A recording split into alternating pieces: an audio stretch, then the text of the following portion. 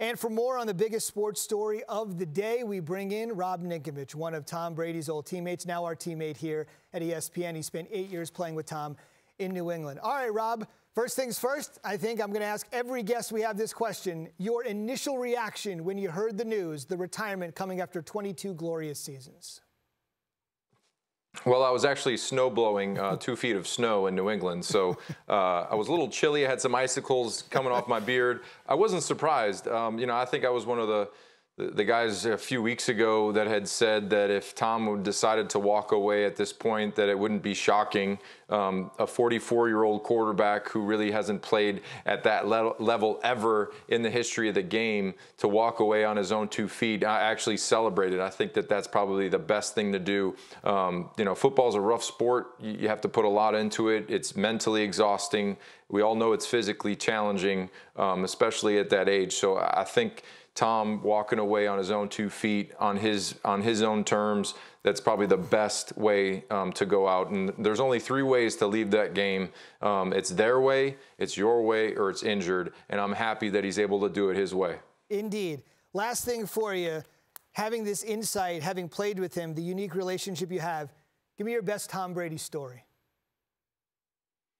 Well, I got a bunch of them. I mean, I think when you play with somebody for eight years, initially um, there is a little bit of shock that you're playing with Tom Brady. I mean, look, when I was um, going into college, he was winning a Super Bowl for the first time. So in 2001, I was in high school, um, just to, to kind of show you how young I am and how old he is, and he's still playing. So, um, you know, again, I, I think that it, it, initially it's a little bit of, okay, that's Tom Brady. Okay. Um, I, I, think the first interaction that we had was 2009. He was coming into the building. I had just got to the team and, you know, only been there about a week and he walked past me and it was Tom Brady. You're kind of like, whoa, that's Tom Brady. He walked past me and said, hey, Rob, how you doing? I said, whoa, he knows, he knows my name. He knew my name. Like, oh my gosh, he knows my name.